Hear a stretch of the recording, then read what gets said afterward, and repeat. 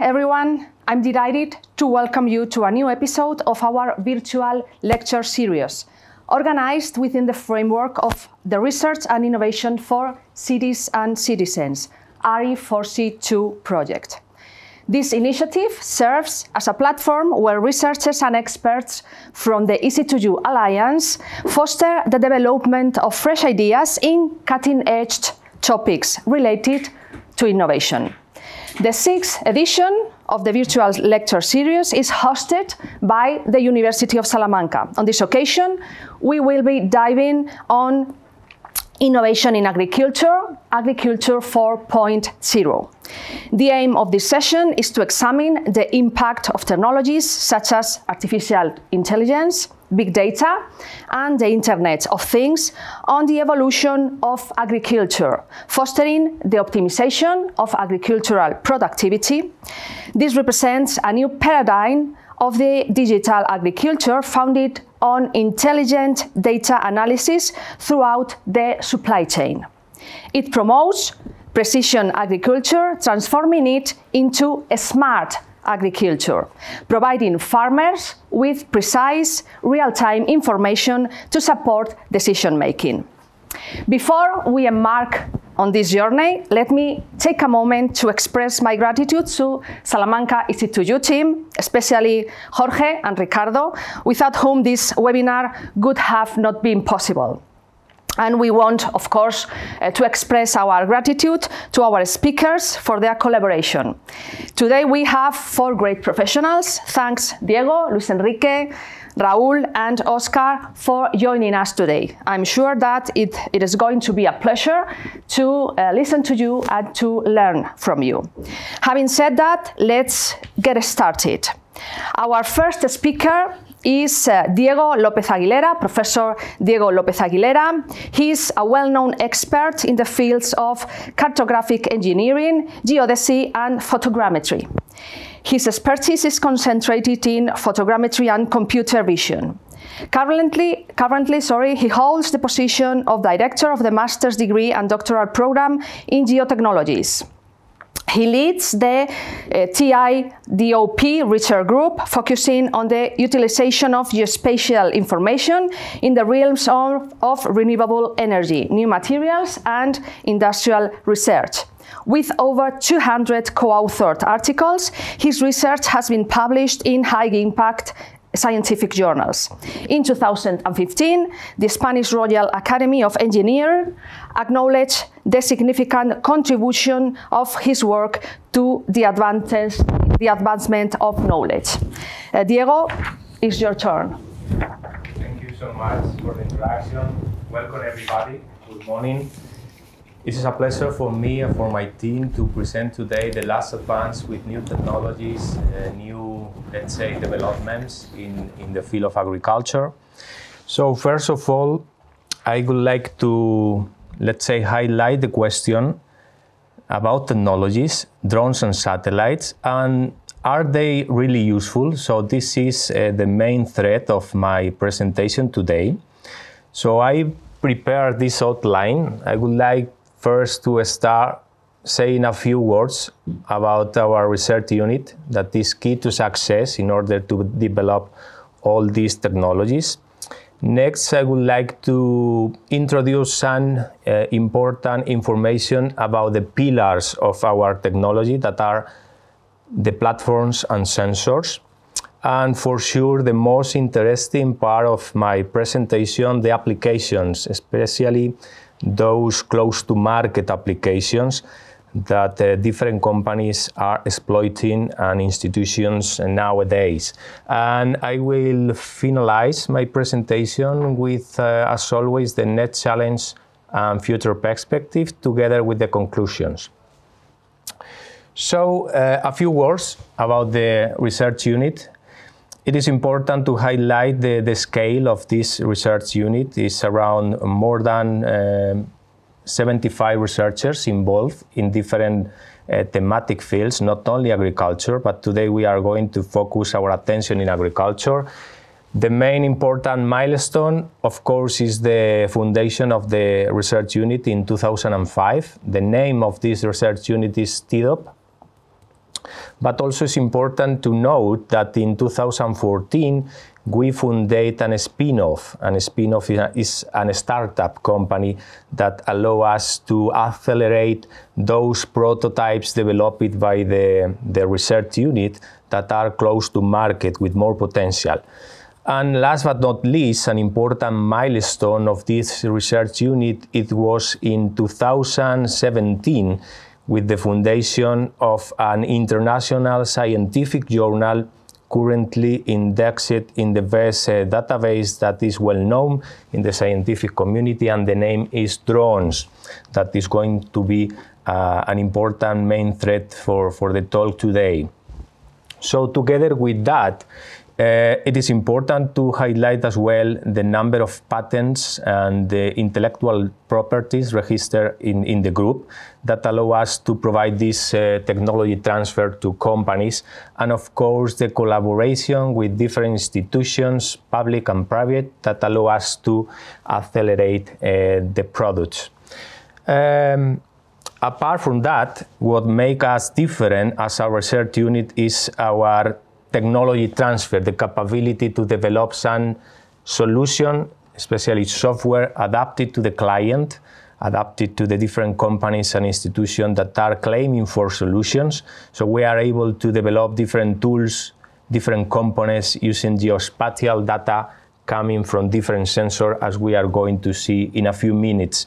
So the key to success uh, pass through develop this solution adapted to the client and of course, to use different geotechnologies. As you can see in the slide, we are dealing with different drones. Uh, it is important to note that drones are not only aerial platforms, we can also work with terrestrial drones or even subaquatic drones that are very, very useful for localizing object or whatever aspect related with the water.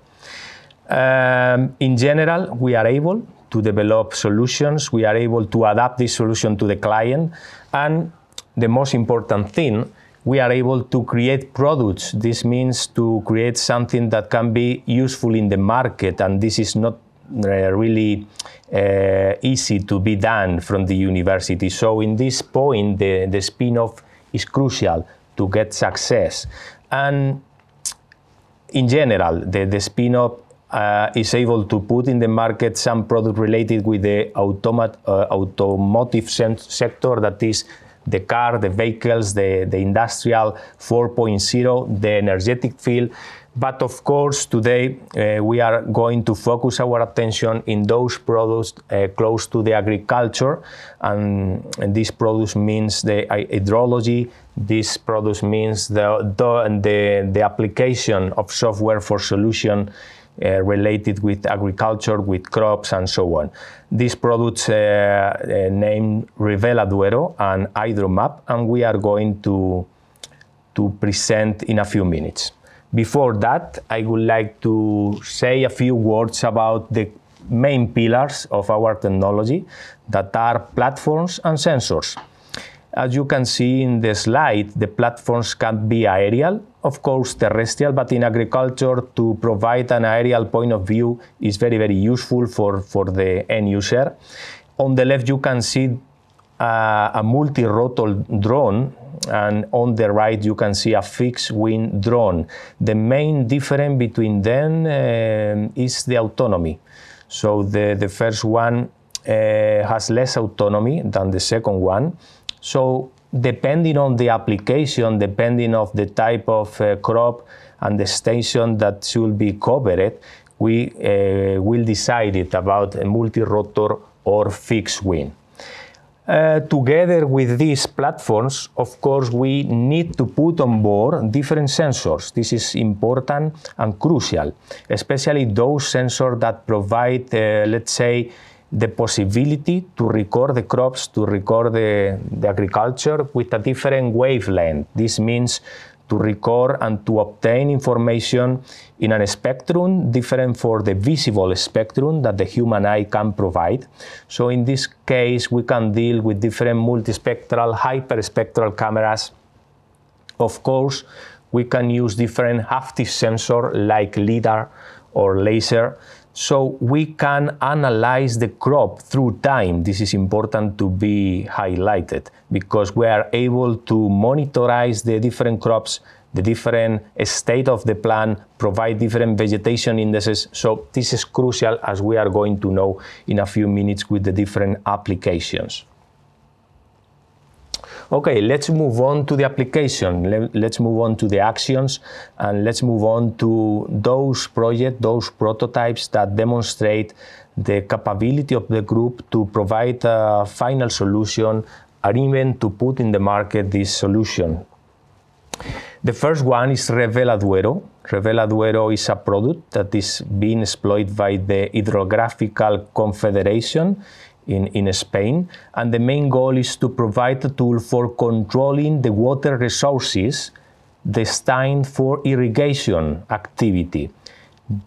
This means that the satellite, in this case we are going to use satellites, are able to provide a monitorize of the different crops and are able to say the confederation which crops are using the irrigation services without the correct regulation. And this is very important uh, considering the, the water resources that we can uh, have uh, nowadays. And, and it is important to provide a tool in order to, to control all these resources for the Confederation.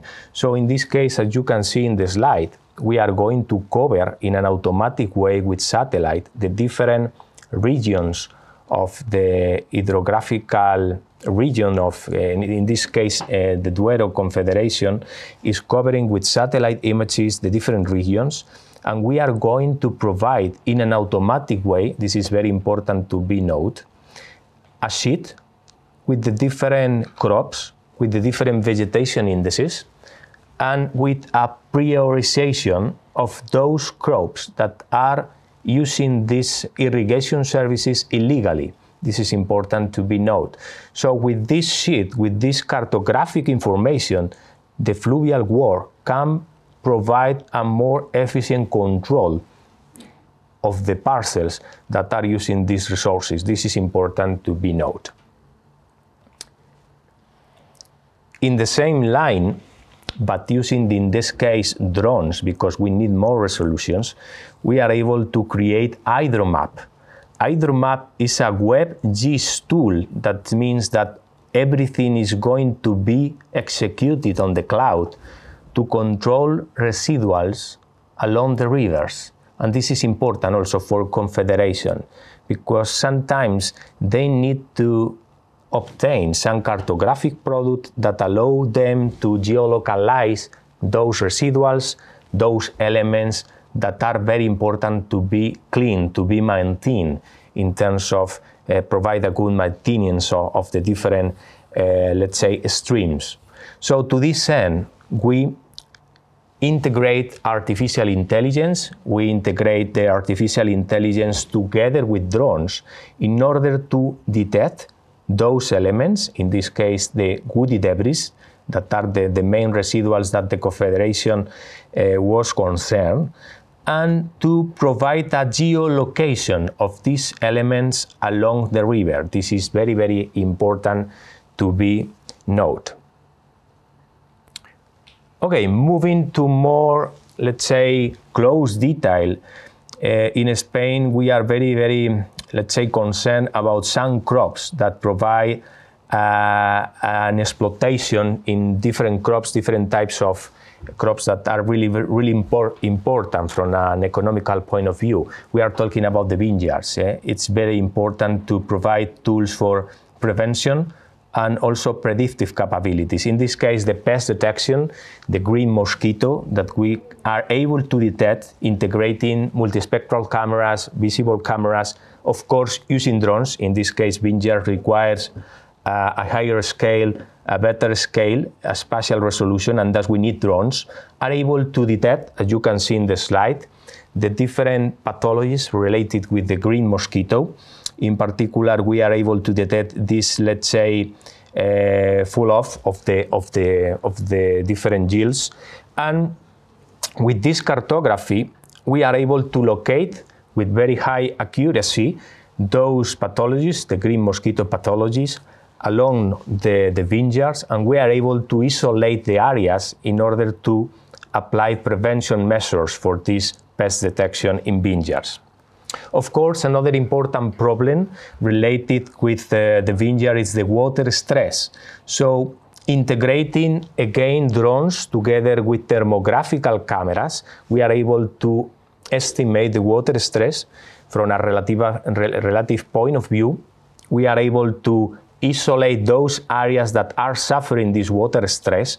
And the most important thing, we are able to say the end user, okay, these areas are suffering this water stress and you need to apply a specific treatment. Of course, another important application is the herbicide application. With these drones, we are able to locate and geolocate those areas that need a specific treatment and a specific herbicide application. We are able to apply an adaptive uh, herbicide application in the crops.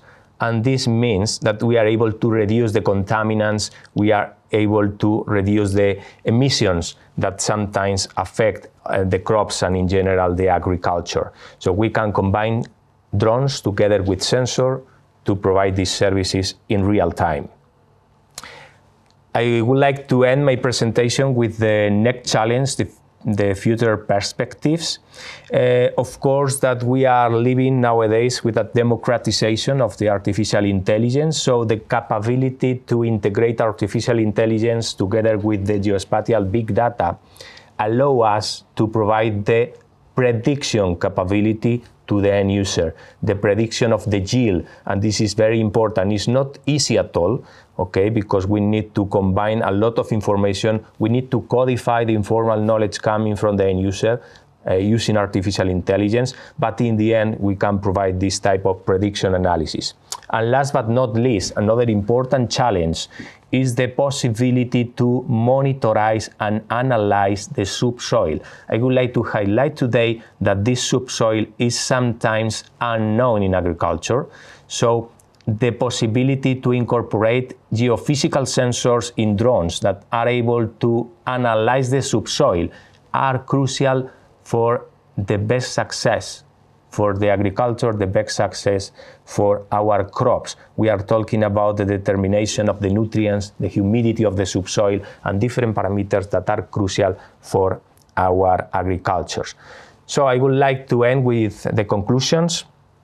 First of all, and coming back to my question, drones and satellites complement each other and are useful for agriculture, of course, but we need to move forward and provide some solution to the end users, as we are going to say in the last conclusions. The second one is that drones and satellites do not reply the field work, but minimize them. Of course, with, let's say, an easy effort, we can provide a final solution in agriculture. So we can say that sometimes the, the services that we can provide in agriculture are low cost, and this is important to be highlighted. Of course, the integration of artificial intelligence and big data provide these predictive capabilities in agriculture, very demanding from end user. And the last conclusion, and in my opinion, this is the most important one, the key to success, I mean, the connection of this technology with the rural areas, with the agriculture, with the end user, pass through developing a geospatial innovation platform that allow the end user to use this type of services and technology. Thank you. Thank you very much, Diego, for sharing with us these interesting contributions of uh, your research group. It is amazing what uh, technology, well used technology, can offer one of our priority economic sectors. So, thank you very much. Our second speaker is uh, Dr. Uh, Luis Enrique Corredera.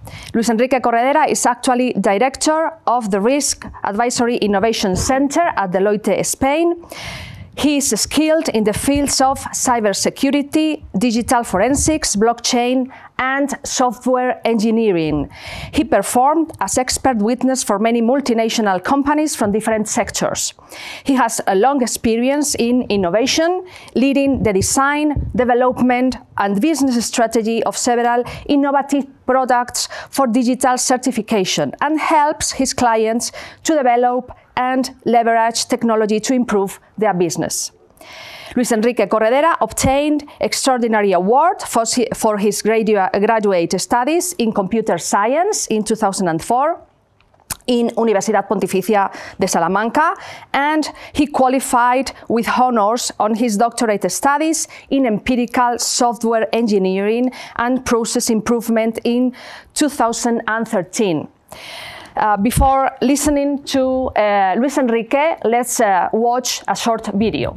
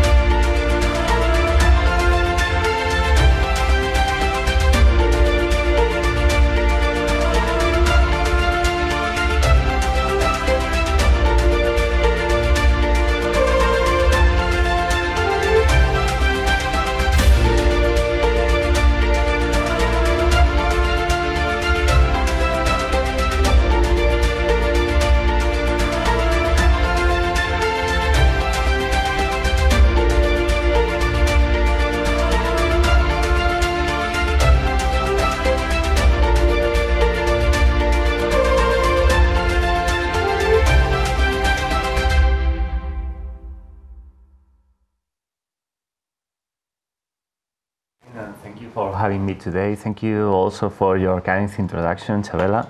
Uh, well, I'm delighted to, to be here today to talk to you about uh, an experience that joins uh, traceability, blockchain, artificial intelligence, and one of the best things in the world, which is Iberian ham.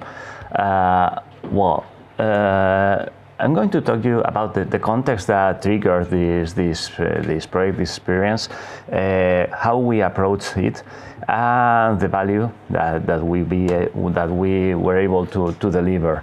Uh, well, Iberian ham market is a very good opportunity because it's a mix of, of situations in which they are uh, high value products like Iberian hams.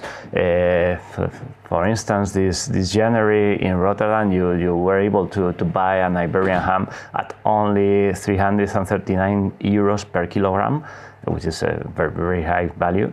Uh, there's a lot. There have been a lot of fraud on the of the market. Uh, many many companies, many many news uh, with the, the, the media about uh, fraud, uh, counterfeiting of, of products, etc.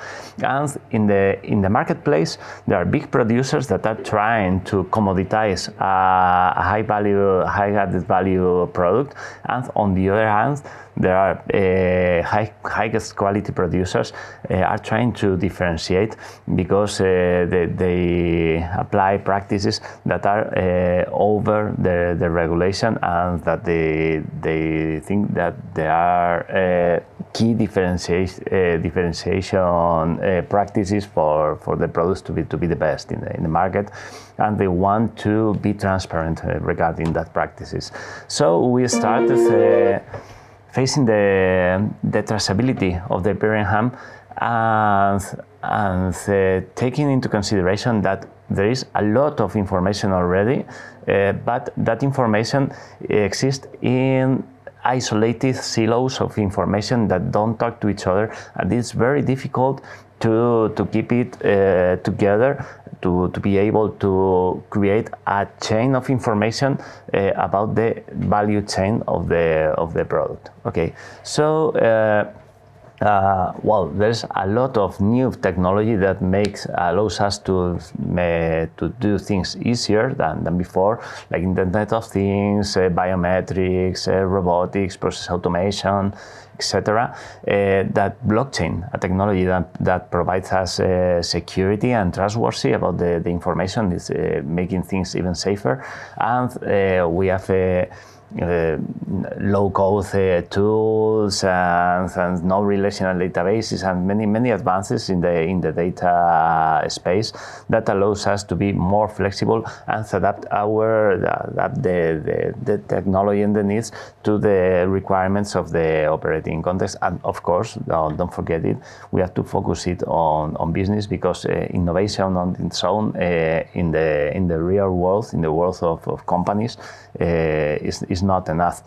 Uh, well, uh, once we, we know what to what we want to, to get of it, we have to focus on which processes do we are we need to integrate then into the into the chain of value into the traceability, what services and what information, all that information that were in different silos, different companies, different participants in the chain, it's a really very, very tough problem to, to face, even with the, the best technology. And well, uh, regarding the, the business focus, uh, there are many dimensions as well in which we can we can make an impact.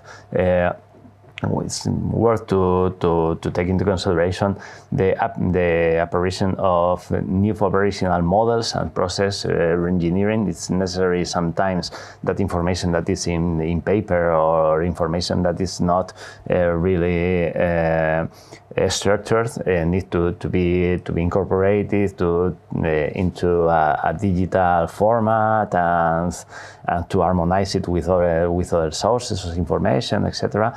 And well, it's also important to be uh, transparent with consumers, key stakeholders around the around the the value chain and the supply chain, and of course the innovation of products. Today we are dreaming about uh, well yesterday we were dreaming about being able to to to get into the web page of uh, Iberian ham uh, producer and uh, uh, put a, an order, and receive the Iberian ham that they know that is the, the taste that you want, the point of salt that you want, the level of, of, of drying that you want. It's very, it's like a kind of science fiction that today is made possible by, by the, the combination of these, of these technologies. Okay, uh, well, from the technical, uh, technological point of view, it's also uh, a challenge and well, we we face that challenge uh, by by combining different uh, kinds of, of technologies and adapting it to the different levels of maturity that the players in the market uh, in the value chain has. Because uh, well, you you can have farmers farmers that uh, doesn't use at all a computer, but you can have industries that have the, their own ERPs or SAP or, or many other many other uh, high technological products, and you have to be able to respond to the needs of uh, each of each of them. Well, regarding the process, we have uh, many many many many many uh, uh, steps in the in the value chain uh, from reproduction, uh, the, the breeding mix. Uh, in the Iberian ham, it's important the raciality of the father and the mother of the of the of the porks of the pigs. And well, re regarding the, the growth, it's important when you have the, the when you do the, the weaning process and in the feeding, the, the mix that uh, in what that is used, the the recipes that are used to to produce the the, the feed and, and the, the, the, kinds of, of cereals that are used, as you probably as, uh, saw previously in the, in the introduction video. And of course, uh, wild feeding, uh, feeding with acorns, the, the, the, the hams, which is uh, one of the key points of differentiation as well. And no, it's important not to forget about the industrial process. Uh, what happens once we, you transform the, the pork in different legs and shoulders, uh, salt them, uh, mm, dry them, and many years later you transform them into blisters of Iberian ham. Okay, it's a very long process. It's a very complex process, and in the end, you will have a blister with a QR code you can scan with your with your mobile phone, and you can check all the information, all the history that is behind an Iberian ham, but also uh, you can you can check, you can uh, evaluate uh, many many aspects of the product that you are consuming, like the, the color. Do you like the color or do you not? Uh, do you the texture, the, the taste, uh, the, the smell? Okay, what's your overall satisfaction about the, the product? Five stars, four, three. Okay, so this information can be uh, gathered and also linked together uh, across all the information that you gathered uh, alongside the, the supply chain so you can know what uh, with enough data you can do advanced analytics and apply artificial intelligence to uh, determine what are the practices, what are the different characteristics of the different pro processes that produce um, the, the, the evaluations of, of different, different customers as well. And well, in the other hand, the industries have a lot of information together uh, about how the how the about the, the life of the of the product uh, uh, from end to end as well. That allows you to uh, reduce uh, mistakes uh, in the in the management. It allows you to to investigate mm, different different aspects of, of the production process and the, and the impact that it produces. And well, it finally increments the, the maturity of the of the industry. Okay, so well, uh, really, uh, this the, the, impact that that the, this kind of projects produce uh, over the end on the brands is about marketing. Uh, it allows you to to have a more direct uh, um, contact with the, with the consumers uh, from the commercial point of view, differentiation from competition, uh, provide digital seals that ensure that there has been no no fraud on your product that allows you to transparent better practices than your competitors, etc. and to end uh, traceability and of course uh, the, the compliance with, with legal regulations, etc. And just to finish, simply as they require you to, uh, next time you, you have the chance to, to scan a QR code on a blister of Iberian ham, please do it because uh, you will have uh, you will receive a lot of useful information that allows you to be a more informed uh, consumer. Uh, well, I think that's the, that's all I have to to, to say. Uh, will be. Thank you, thank you very much, Luis Enrique. Thank I'm you too. sure that I'm not the only one here who loves jamón serrano, jamón ibérico. huh? Uh, let me use jamón ibérico and not uh, Iberian ham because it, it sounds Of course. weird for me. Weird. It seems like a different thing. So I love jamón serrano, jamón ibérico. And uh, the important point is that uh, much, uh, uh, much employment and wealth in Salamanca depends on this product. So any contribution to its advancement and improvement is welcome. So I commit you to keep on working on, uh, on this sector. Um, our, third, uh, our third speaker is Raúl García Serrada. Raúl works as a project management officer at Air Institute, a research center where artificial intelligence, blockchain, robotics, and the Internet of Things are applied to various sectors such as industry, services, health, and education. He has extensive experience in the field of engineering, having been involved in projects related to the design, execution, supervision, and maintenance of civil, industrial, and environmental works. Currently, he is focused on entrepreneurship and new business models involving drones and in the hemp industry for industrial, food, and health purposes. Uh, we have also a short video, and we are uh, going to watch it before listening to Raúl. BISITE is a research group specializing in bioinformatics, intelligent computing systems, and educational technology. We create solutions based on artificial intelligence and apply intelligent computing systems across different areas of research.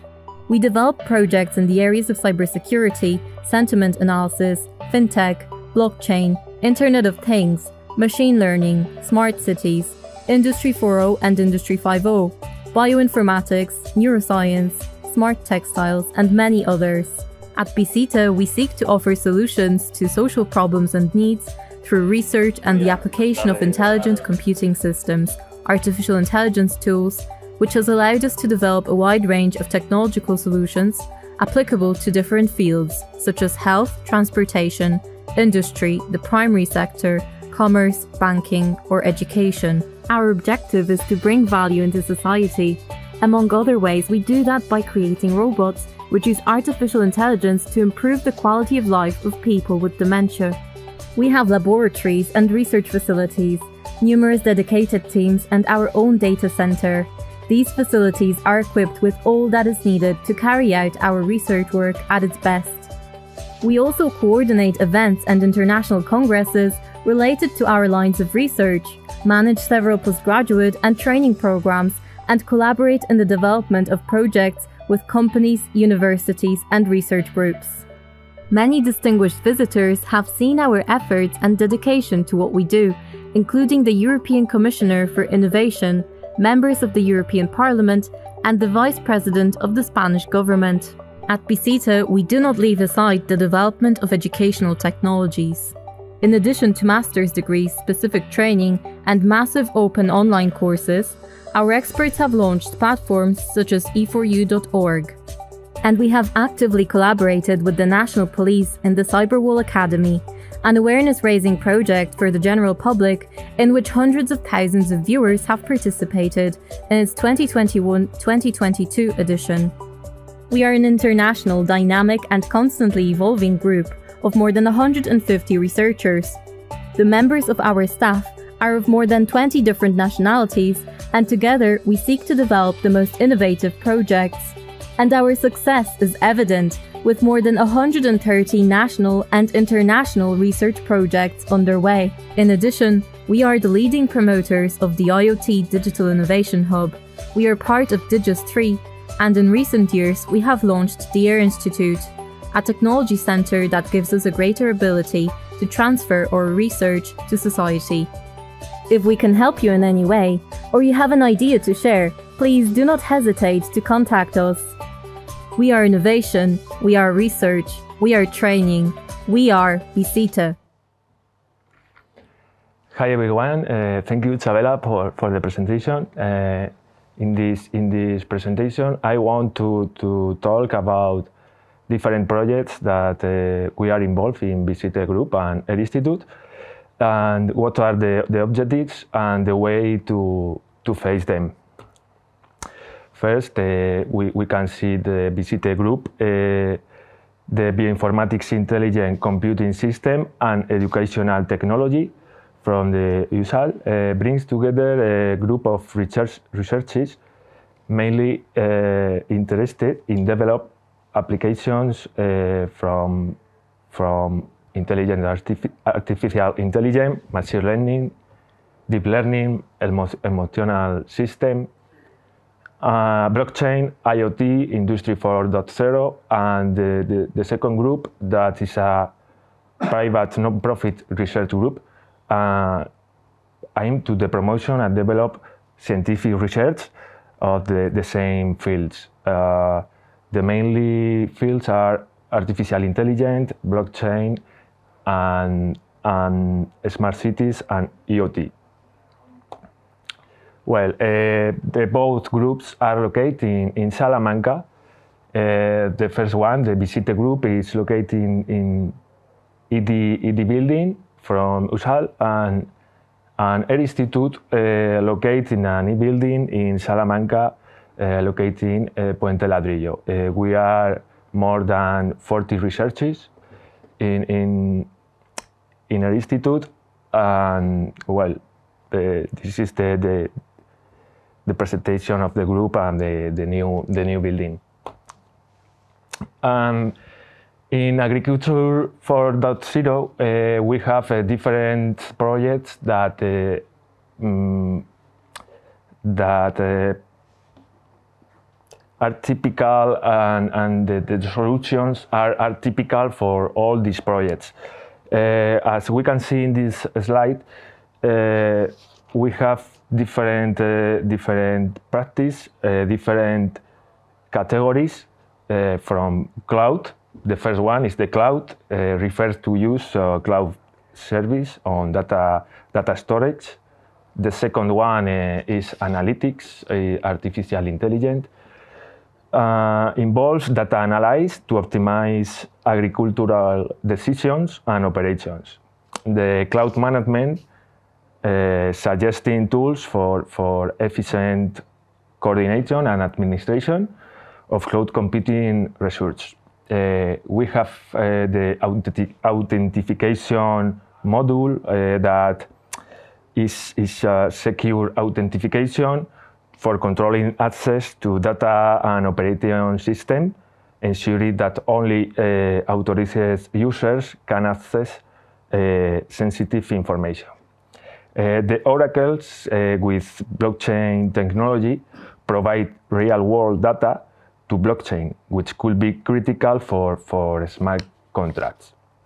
And, and the knowledge database repositories of crucial information from best agricultural practice to case studies and research findings. Uh, this, this knowledge database uh, is provided from, from companies or different research uh, uh group, the different group of, of research and the last one is the application programming interface that enable integration between different systems and, and softwares. Well, uh, we showed you uh, five, five projects that we are in, involved. And well, the fourth first are of Agriculture 4.0 and the last one is uh, from Livestock. Well, Alarat is, is, a, is a project that investigates uh, the latest advance in agronomic models. Uh, we, we design a network of wireless sensors to measure critical local factors. Uh, we designed an IoT architectures that we can see uh, later. Uh, sensors, devices, edge computing connectivity, data processing, and user interface. We acquisition of georeference spatial and temporal database of critical factors throughout the following monitoring system. Um, we develop data analysis technique and artificial intelligence-based algorithms to predict the evolution of factors. And we develop the, the blockchain traceability techniques uh, for, for the project. Uh, as we can see, the, the, the typical architecture of, um, of all these projects. Uh, we have an IoT system uh, that we collect the, the data in field, an event management system, MQTT, it's a lightweight uh, messaging, messaging protocol for small sensors and mobile devices, optimized for high latency and, and reliable networks. We have a, a data preprocessor and gadget that is, is related with a web application. Uh, in this case, we use Deepint, that is a, a a platform developed by the group. Um, artificial intelligence service that is uh, included in, in the Deepint application. And we, we involve machine learning algorithms for predictive analytics and other intelligent data processing tasks. And the last one, uh, we have the, the blockchain technology which could be used for, for secure and, and traceability. Another project is Intel, Intel Vines. It's a pioneering research and develop project that uh, it's similar to Alarat. And the project's primary objective is research and develop cutting-edge technique that that revolutionize these fields. Uh, we can see the, the, the project, uh, the analytic, analytics, IoT, the process, uh, and, the, and the blockchain uh, traceability. Uh, in this project, uh, we, we have an AI and artificial intelligence and deep learning application that that uh, um, that at uh, sorry precision viticulture enhancement. Uh, the, pro the project is focused on development intelligent irrigation system for, for precision viticulture, and we we can see the the the IoT architecture develop uh, is a key component in the development of an IoT architecture. Uh, it's the similar that uh, the project we can see before, that Alarat project. another part in the Intel Vines project is Chain Vines, that is an individual research and develop project focused in application of distributed ledger technologies, blockchain. Uh, we have the, the blockchain platform. Uh, the project involves developing and implementing a blockchain platform uh, that will facilitate the design and formalization of new automated contracts, smart contracts. And we have two, the, the traceability and quality assurance. Uh, with this technology, binaries will be able to track, record, and validate the entire vine traceability from its origin of, to the point of, the, of sale. Uh, another project is Agraria. Uh, the Agraria project uh, investigates the applic applicability and viability of artificial intelligence with other technologies related to Industry 4.0 in real solutions to define new agricultural production methods that results in, Spain, in Spain's agri-food sector being more productive, technological, innovate, sustainable, and commit to energy efficiency. Uh, in this project, we have uh, artificial intelligence too for, for detect uh, disease, uh, the presence of pests as neutral, nutritional deficiency. Uh, we, we can see the different different images for, from the project that we use different uh, algorithms for detect uh, pest, disease, or illness. The last project I want to talk about is SOSBAN. Uh, SOSBAN is a livestock uh, uh, project. It's an innovative project created to improve the positions of extensive beef in the market and ensure the, the economic sustain sustainability of these farms. Uh, this is the, the, the platform. Uh, I want to, to, to show you a part of the, the platform.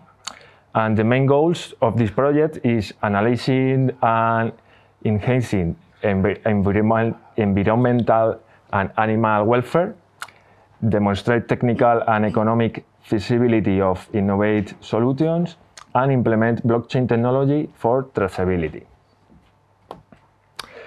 I want to, to talk uh, for, for final the presentation uh, DeepInt, uh, that DeepInt is a, a, platform developed by BISITE and Institute, which enables the collection of IoT sensors data, filtering this data. Uh, you can visualize, visualize the, the, data and integration simple artificial intelligence algorithms. Uh, with, without um, a, a high uh, without um, yes it's for, for, for all public this this this platform uh, have different different options you can uh, update different uh, data sources uh, you can integrate different sensor uh, from IoT from agricultural or livestock IoT. And you can uh, implement artificial intelligence uh, like regression uh, algorithms like regression, classification, and clustering. This is very simple uh, for, for use. You only uh, update the data and pre-processing the data and implement uh, uh, artificial intelligence uh, algorithms. Um, well, this is the base, basically the, the platform that we use for all these projects. And well, it's, it's all. thank you for, for listening. Thank you, thank you very much, Raul, and congratulations for uh, this interesting and uh, useful work made by uh, these two research groups. I'm, uh, I'm sure that AI and other technologies you have, uh, you have talked about in, in your presentation, uh, they, this, these technologies have a lot to say in the future of agriculture. So yeah. keep on working. Our last, but certainly not least important speaker is eh, Professor Oscar Lorenzo. Oscar is full professor in the Department of Botany and Plant Physiology at the University of Salamanca. He's director of the research group on, on, plant physiology and hormonal signaling at the University of Salamanca. He's researcher at the Hispanic Portuguese Institute for Agricultural Research and he's author of over 30 articles published in high-impact international journals with over 3,250 citations. He's member of the editorial board of the Journal of Experimental Botany, uh, Oxford University Press. Professor Lorenzo received the Sabater Award in 2007 for young researchers from the Spanish Society on, uh, of Plant Physiology. He was, he, he was sorry, also awarded in 2008 as a young European scientist from the Federation of European Societies of Plant Biology. He was also Michael Black Founders Lecture Award in 2017 from the International Society for Seed Science for his research trajectory. Let's, uh, let's watch a short video uh, before listening to Oscar.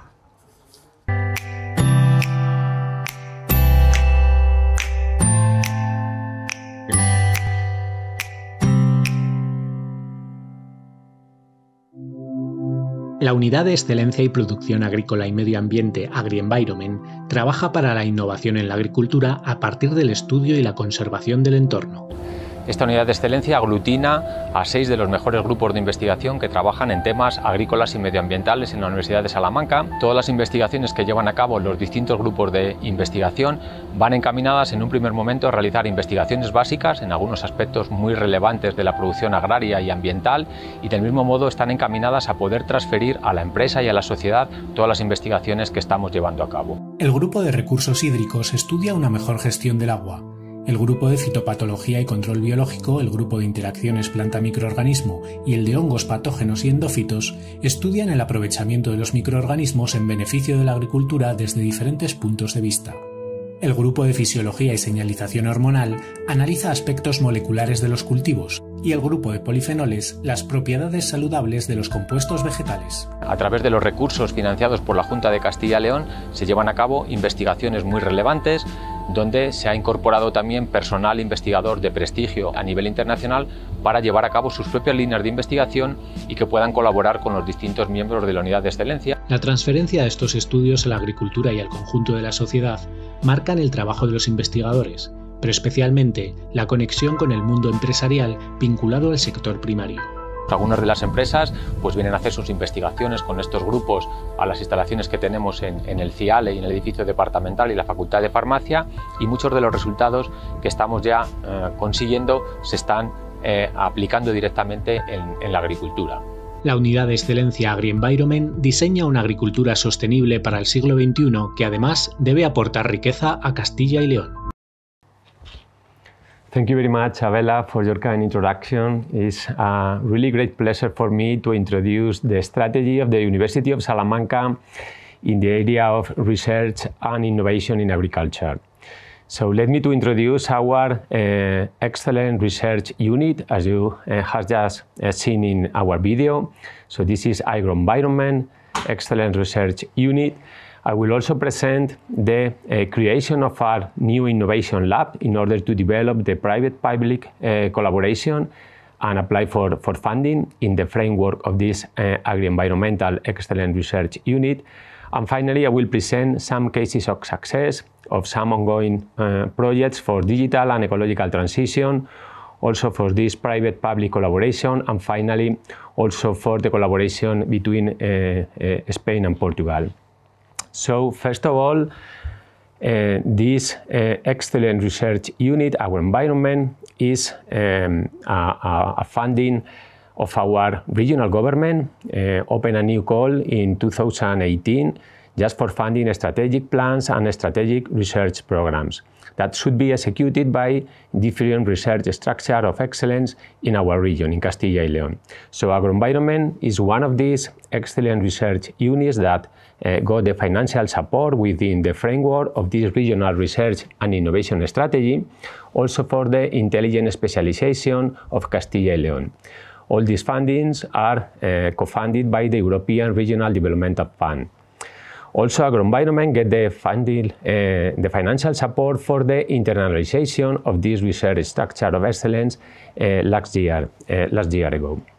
So the different lines of research that this excellent research unit is carrying at the moment is the, the one I present here, uh, dealing with the monitoring and assessment of hydrological variables for agriculture applications, Also, the biocontrol of phytopathogens by some specialistic fungi like trichoderma, the bacterial probiotics with plant growth promotion mechanisms, and also the plant fungal pathogen interactions is another line of, of research. The regulation of abiotic stress responses by plant hormones, and finally, the nutritional relevance of these phenolic compounds. All of these are the lines of research. Some of them are carrying uh, the research at the Institute for Agribiotechnology Research that is in close collaboration with the new campus, with the new agroenvironmental campus that is under building also by our university. I will present a little bit more specifically these different lines of, of research um, uh, for you to know some of them. Especially the first one is dealing with um, several aspects since this is a multidisciplinary research team that is studying the dynamics of water and also the relationship with the territory, addressing environmental and water management problems. The scope of study uh, is the hydrological processes in the Mediterranean environments, applying remote sensing in hydrology and also in agriculture. They are studying the hydrological interaction between the soil and the plant, especially under this global climate change related to water resources. The second line of research deals with the study of uh, the trichoderma fungi for biocontrol of phytopathogens. This group is working to improve the production of crops of really agronomic interest through biotechnology and also by the management of these microorganisms, especially the fungi trichoderma, controlling plant diseases. The scope of their study is the response of plant to stress, especially salinity, drought, and different temperatures. They try to defend crop, crops from diseases and also pests with biological solutions and with the support of genetic tools research in relevant crops in, for our region, for Castilla y León, for example, herbaceous plants, also strawberries, cucumbers, tomatoes, rapeseed, and olive trees are under, under their study. They also developed to achieve greater environmental sustainability, replacing traditional fertilizer and pesticides with new biotechnological solutions. Our third uh, research line is the use of bacterial probiotics with plant growth promotion mechanisms. This group is studying the microbial uh, biodiversity and the potential of the different microorganisms for biotechnological applications. They are using bacteria and fungi to improve either both agriculture and environmental sustainability. Their scope of study is the symbiosis between bacteria and also in legumes. They study the positive interactions between the plant and the microorganisms, the microbial biodiversity, and also the bacterial taxonomy, microbial bioremediation in different processes. The biotechnology of these process, processes applied to agriculture, for instance, to wine and yeast with different microbial, also the development of biomaterials from these different microorganisms. They also applied biotechnological applications of endophytic microorganisms of plants in agri-food and environmental sustainability processes and genome mining in the search for new bioactive substances. Another line of research in the framework of uh, agroenvironment research excellence units is the plant fungal pathogen interaction. One of our groups is working in the genomic studies of pathogenic and endophytic fungi, and their scope of study is the isolation and characterization of different genes from fungi and study their evolutionary relationships. They design new strategies for antifungals, they investigate the interactions between plants and pathogens, or they use bioinformatic approaches and functional analysis with different fungal proteins applicable to agriculture. Their fungi under study are Glomerella, Fusarium, and Botrytis, among others and their molecular research directly uh, is involved in the relationship to crops of agriculture interest, for instance, corn, beans, or grapes. Another group is working in the regulation of abiotic stress responses by plant hormones, and this group is studying plant hormonal signaling networks and their interactions through growth and development along the life of the plant. Their scope of study is the molecular genetics of physiological processes in plants. They study also the seeds in relation to climate change, the molecular genetics of seed dormancy and germination, and some of different molecules as the gasotransmitter uh, nitric oxide. They also use molecular genetics during plant development and the stem cell niche in different aspects of development. And finally, they also apply the hormonal responses to biotic and abiotic stresses under agriculture biotechnology. The final group uh, is dealing with the nutritional relevance of phenolic compounds. This group is studying plant phenolic compounds. They analyze, characterize all the influence on sensory and functional characteristics of foods in plants and all related to health effects. Their scope of study are the uh, implications of these phenolic compounds in fruits, particularly in grapes, on the quality and maturity of the fruit. They also study the sensory characteristics of the wine, especially the color, the flavor, and the astringency. The influence that these phenolic compounds have in the diet on human health is also under their scope. And finally, the analysis and characterization of these phenolic metabolites of different natural products and biological samples are under evaluations for viability, metabolisms, activity, and mechanisms of actions of these phenolic compounds. Some of these studies are carried out in a nematode uh, named Caenorhabditis elegans. So all these lines of research need to be validated and need to be incorporated into new ideas and new concepts. Uh, this is the reason why we created an innovation lab. So this innovation lab is involved in the validation of these concepts. It also creates uh, uh, conceptually investable prototypes and is able to develop this private-public collaboration and apply for funding. So and this laboratory uh, of new creation of our university is led by Ricardo Costa, and I give you just a few examples of uh, the initiatives that are involved in this innovation laboratory. So this initiative is in frame of the concept of a living lab and aims to add value to the process of innovations.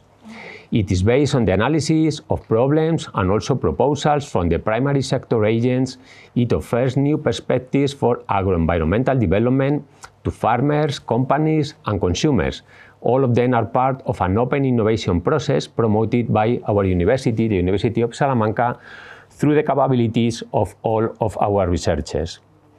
The Innovation Lab is a physical space that it is located in our institute, the Agrobiotechnology Research Institute, but it is also a methodological um, concept that relies on the synergy of all social and economic actors to provide solutions and new perspective to the agriculture and environmental sector. I will give you a few examples of ongoing projects that we have at the moment that has been case of, of success in the funding Three of them uh, are uh, different projects. The first one is related just to the ecological transition. The second one is an example of the collaboration of private-public institutions. And the third one is also a collaboration between Spain and Portugal in the frame of the uh, POCTEP call.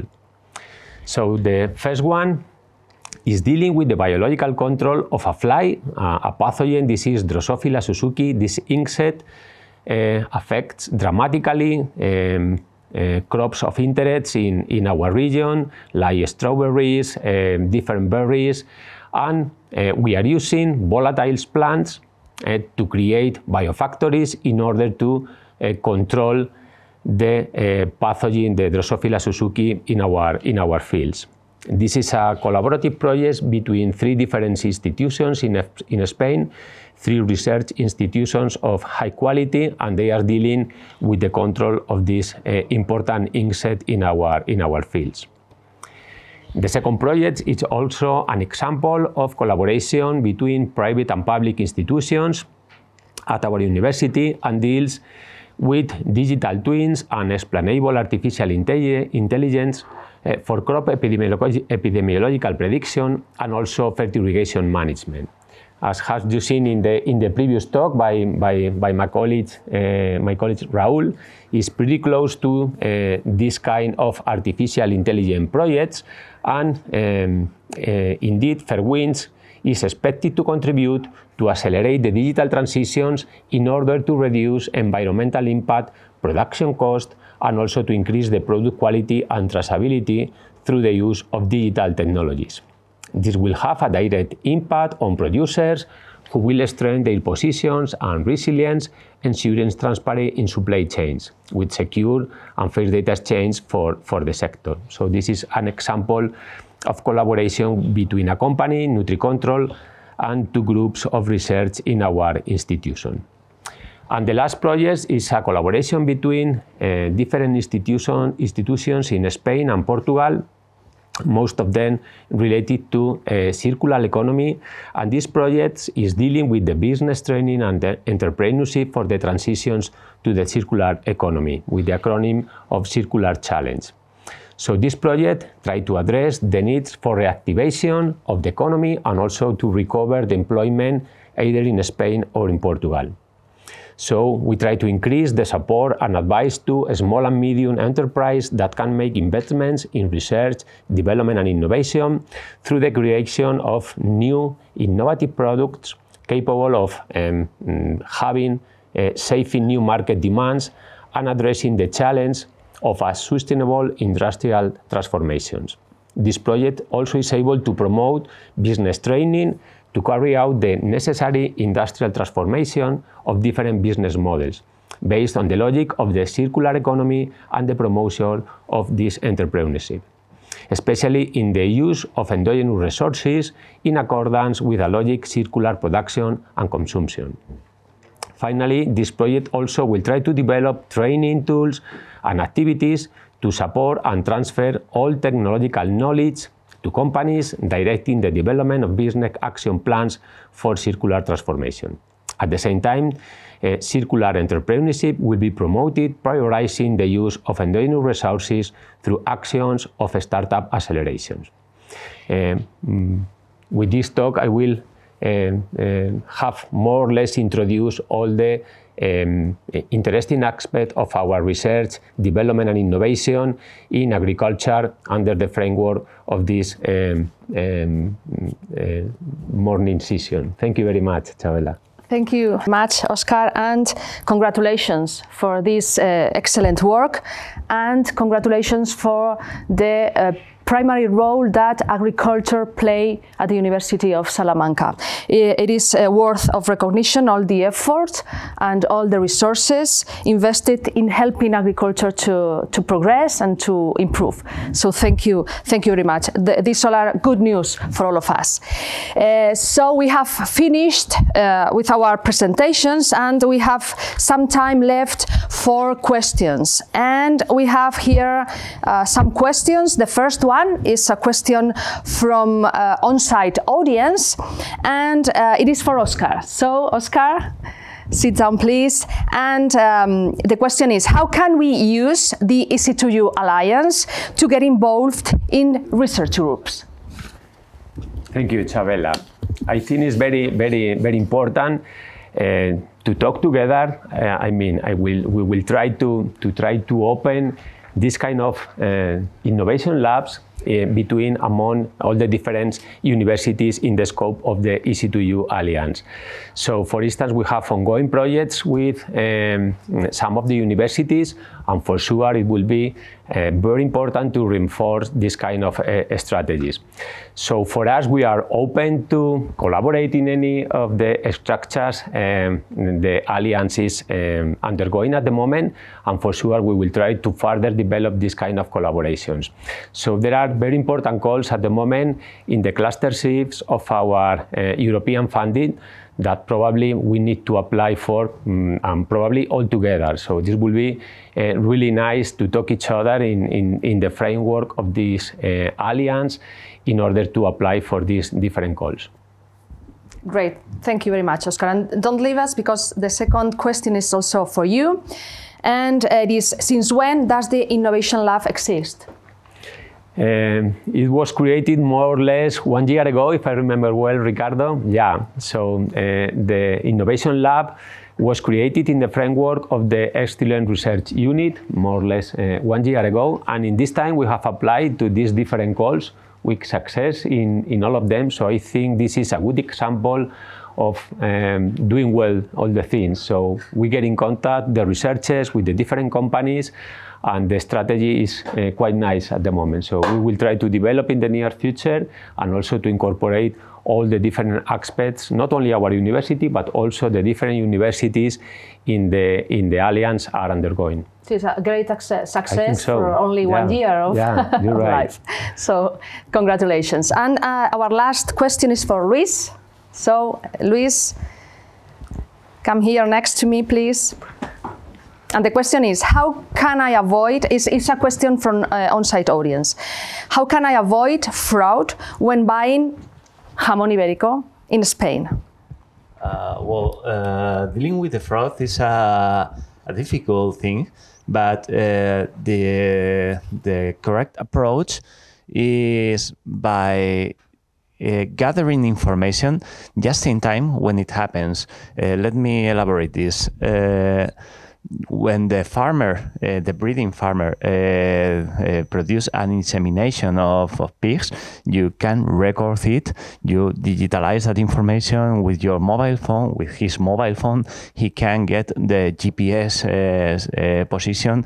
So we can attest that it happens in Salamanca and not in, in France or whatever.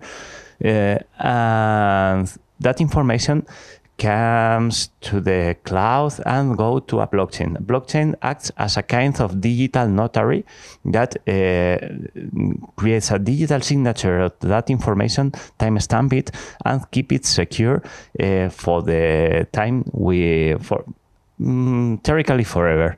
So many years later, well, it's at the, the breeding farm, but in the in the nurturing farm, it also happens like that, where the the feed producer uh, also um, uh, records this information, is digitalizing the custodies, and then the every every step on the on the value chain do that the and what we can check then in the blockchain when we scan a QR code when we are acquiring a blister of Iberian ham or a full leg, a whole leg of Iberian ham, uh, what we can check is that information was provided by the farmer, it's digitally signed by him, uh, four years ago. And hmm, and all that information is, is tied together, is digitally notarized, so and is publicly is transparent, so you can combat fraud by checking this public information. Mm -hmm. So we, we can rely when we buying can, a, a, jamón ibérico. We can Here rely. in Salamanca, we yes, can rely yes, on, yes. on the, okay, the, the companies that the producers that have this system, we can rely on them. Thank you, thank you very much, thank Luis. Too. So we have finished uh, I want to express my gratitude again to uh, all the, the speakers, the four speakers. We have enjoyed a lot all the presentations and we have learned a lot as well. And uh, we, we want also to thank the audience, the on-site audience and the online audience for uh, their presence today uh, with us. And uh, we hope that this is not the last, uh, the last uh, chance to, to meet and talk about innovation in whatever. This time we have talked about innovation in agriculture.